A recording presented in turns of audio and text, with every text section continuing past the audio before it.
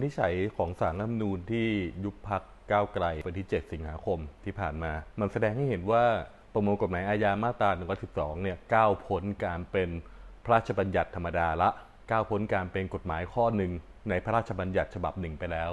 แต่มีสถานะใกล้เคียงกับรัฐธรรมนูญจารีตประเพณีที่ศาลรัฐธรรมนูญเป็นคนบัญญัติมันไว้ การกลายเป็นแบบนี้ทำให้ประมวลกฎหมายอาญามาตรา112 กลายเป็นประเด็น ทางการเมืองโดยแท้ และกลายเป็นประเด็นทางรัฐธรรมนูญโดยสภาพของมันเอง ซึ่งเรื่องนี้ก่อให้เกิดผล 2 ด้านที่ขัดแย้งกัน ด้านแรกก็คือผู้คนจะพูดถึงประมวลกฎหมายอาญามาตรา 112 ไม่ได้ในฐานะอาชญากรรมอีกต่อไป แต่จะกลายเป็นในฐานะที่เป็นประเด็นทางการเมือง เป็นประเด็นทางรัฐธรรมนูญ อันนี้ประการแรก อีกประการหนึ่งนะครับคำวินิจฉัยสารรัฐธรรมนูญเนี่ยห้ามไม่ให้นะครับพักการเมืองเสนอ นะครับไอการแก้ไขประมวลกฎหมายอาญามาตรา 112 ด้วยวิธีการ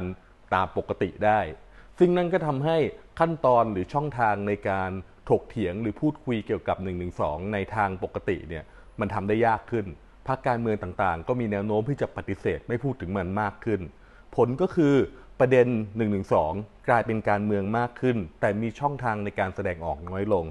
ในโอกาสอย่างนี้ในในวาระแบบนี้มันจะทำให้ ประเด็น1นึกลายเป็นประเด็นที่มีความแหลมคมเป็นกลายเป็นประเด็นที่นำไปสู่ความขัดแย้งได้มากขึ้น และไม่เป็นผลดีต่อสถาบันพระมหากษัตริย์ไทยเลย ผมมองว่าการเมืองไทยก่อนเจ็ดสิงหาเนี่ยมันมีดุลภาพพอสมควรนะครับ หมายความว่าฝ่ายรัฐบาลก็ทำหน้าที่ของตัวเองไป ฝ่ายค้านก็ไม่คิดจะเลื่อยขายเก้าอี้รัฐบาล แต่สภาวะที่เกิดขึ้นหลัง 7 สิงหาคมเนี่ยนะครับ มัน มันโพลาไรซ์อีกรอบหนึ่ง มันแบ่งขั้วทางการเมืองอีกรอบหนึ่งนะครับมันทำให้ประชาชนที่เป็นที่สนับสนุนฝ่ายค้าน กับประชาชนที่สนับสนุนฝ่ายรัฐบาล ประชาชนที่จงรักภักดีต่อสถาบันพระมหากษัตริย์เนี่ยกลายมาเป็นมีความขัดแย้งกันโดยไม่จำเป็น ซึ่งปัญหาคือประชาชนที่สนับสนุนฝ่ายค้านหรือพรรคก้าวอดีตพรรคก้าวไกลเนี่ยมันมีตั้ง 14 ล้านคน ซึ่งจริงอยู่เขาอาจจะไม่ออกมาประท้วงอะไร แต่สิ่งที่เกิดขึ้นแน่ๆคือ เขาไม่มีความสุข เขารู้สึกว่าเขาไม่ได้รับความยุติธรรม รัฐบาลเพื่อไทยจะมีปัญหาเยอะมากเลยในการที่จะทำทำให้ประชาชนเหล่านี้รู้สึกว่าเขามีความสุขอีกครั้งหนึ่ง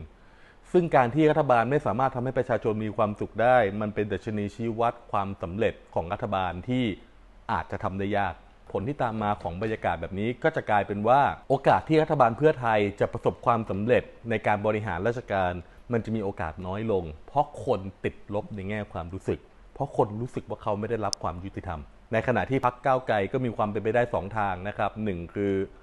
ช่วยโอกาสนี้แล้วเติบโต 2 คือไม่สามารถทำได้ ถ้าเกิดพักก้าวไกลไม่สามารถทำได้ และพักเพื่อไทยไม่สามารถทำได้ดูรภาพทางการเมืองจะถูกเทไปอยู่ที่ฝั่งอื่น